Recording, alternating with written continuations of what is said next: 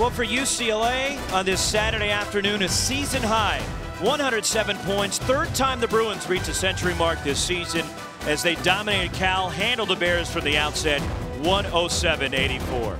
Roxy Burns Bernstein with you from Haas Pavilion, where Thomas Welsh led UCLA with a double-double, his 10th double-double of the season. And despite playing with three stitches and wearing a mask because he took a shot in the face from Reid Travis of Stanford on Thursday night, 19 points, 14 rebounds. Welsh only took nine shots from the field. Again, six Bruins in double figures. And for Cal, they were hustling. They played scrappy. 21 offensive rebounds in the game, led by 22 from freshman Justice Sueing as Cal had five players in double figures. But for the Golden Bears, it was the sixth time this season they've allowed 90 or more points in the game. But UCLA's three-point shooting was remarkable. A season high 17 threes, including 9 of 11 in the second half.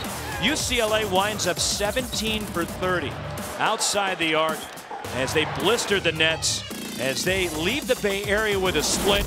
And the Bruins now 3 and 1 in league play, 12 and 4 overall. As Cal, after winning their conference opener at Stanford, falls to 7 and 9 overall, and 1 and 2 in the conference. And it's a big day offensively. UCLA winds at 58% for the game, 17 threes, and they score a season high 107 points as they knock off Cal 107 84.